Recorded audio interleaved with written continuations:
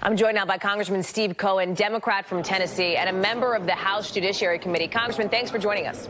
You're welcome. Nice to be we with you. We are looking at images of you at that committee hearing today with what appears to be a bucket of fried chicken. And oh, there it is. You brought props, I see, with you here.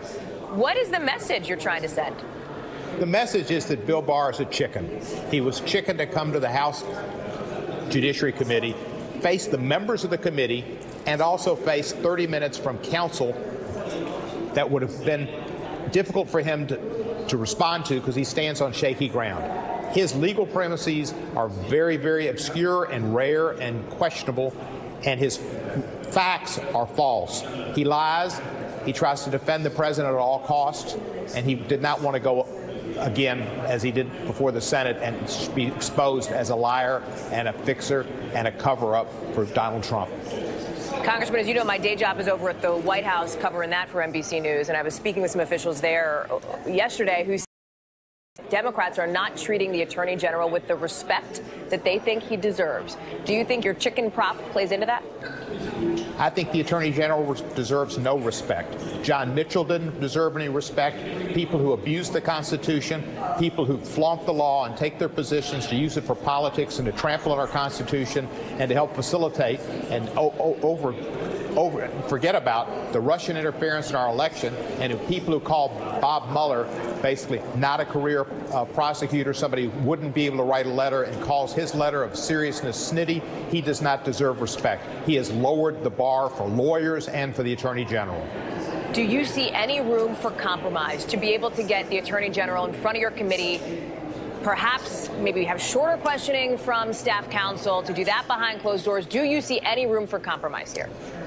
Well, I don't think there is. I mean, Chairman Nadler might see it. But the fact is, in other hearings over many years, counsel have asked questions. It happened when Sam D'Amato uh, was the uh, senator from New York and over the water, Whitewater hearings, and Richard Ben-Veniste and, and, and, and Mike Chertoff both asked questions. Many, many times, counsel have asked questions. It's not a impeachment type hearing. It's an investigative hearing. It's difficult in five minutes to get in your questions and to follow up and to be able to not be uh, uh, filibustered, which is what, what Barr did yesterday. 30 minutes, you can do that. It's not time for all the members of the, of the Democratic side or the Republican side to have 30 minutes to question. So the only fair way to do it is to keep it down to five minutes and to give the counsel one 30 minute shot any attorney general worth his salt should be able to, if he's telling the truth and if his facts are sound and if his law is just, he should be able to stand up to that type of questioning. Let me do a bit of a quick lightning round here, Congressman, on some positions of where you stand. Do you believe that the Attorney General should be held in contempt of Congress? No question about it. When do you think that that should happen? As soon as possible, and that would be next week. Should the Attorney General resign, in your view? He, he should never have accepted the position, but he, he lobbied for it. I think he should resign, but he won't.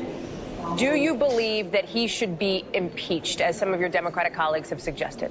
I think that's a reasonable. Uh, uh, uh, it's a process that's out there. I think we should use it.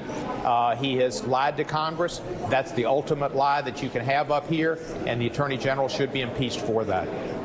The president stands by his attorney general. He has made that clear in a series of tweets this morning and based on the reporting that we've shared already on this show. What makes you think that what you are calling for and what your Democratic colleagues are calling for will have any impact on the future of Bill Barr in this administration?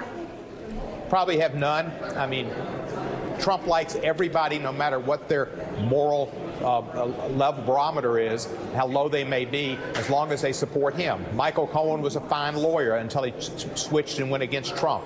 Uh, same thing for Napolitano on Fox. Uh, you just have to basically lick his boots. James Comey said it so well in the New York Times how so many people have sold their souls to be in with this president who is beneath the office of president and beneath the dignity really of what a human being should be in this world. You're supposed to be about truth, about helping people, having compassion, and reaching out and caring about others. This man is a narcissist and he's a grifter. Congressman Steve Cohen, we'll leave it there. Thank you for running up to me in front of a camera for us on this show. Appreciate it.